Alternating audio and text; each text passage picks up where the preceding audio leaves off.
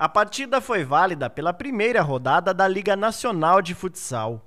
O primeiro tempo foi bastante equilibrado, com o Marreco apertando a marcação e dificultando o ataque do time gaúcho.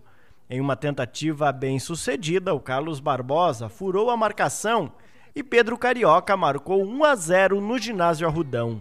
No segundo tempo, os dois goleiros trabalharam bastante, mas nenhum time conseguiu balançar as redes. Final 1 a 0 Carlos Barbosa. Com a vitória, a equipe gaúcha segue invicta e na liderança do grupo B com 24 pontos em 10 jogos.